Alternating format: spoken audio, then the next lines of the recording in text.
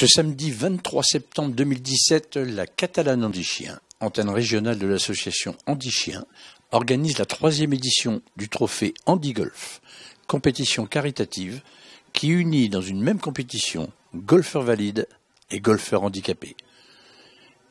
Équipe formée par un golfeur handicapé et trois golfeurs valides. Cette année, à l'invitation de Nuria Beck, la compétition se déroulera le samedi 23 septembre sur le magnifique golfe de Peralada, en Catalogne du Sud.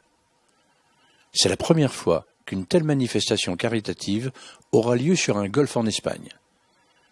Alors que nous avons déjà organisé une compétition à deux reprises sur le golfe de Saint-Cyprien dans le 66, en 2015 et 2016. La compétition est ouverte à tout valide ou handicapé, quel que soit le handicap. Ce troisième trophée sera parrainé par Sébastien Laurent, champion d'Europe de handigolf, et Jean Manson, chanteuse bien connue qui réside à Peralada. L'intégralité des bénéfices seront reversés au Centre d'éducation de chiens d'assistance Handi-Chien de Lyon, Marcy-l'Étoile, qui remet gratuitement les chiens aux bénéficiaires de la région. Coût de l'éducation 15 000 euros. Si vous n'êtes pas golfeur vous pouvez venir partager le repas caritatif qui sera servi à la fin de la compétition au restaurant L'Olivera pour 32 euros. 7 euros seront reversés à Andy Chien.